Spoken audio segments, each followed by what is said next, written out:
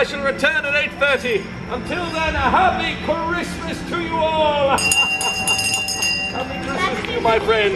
Bye, Father Christmas. happy Christmas to you.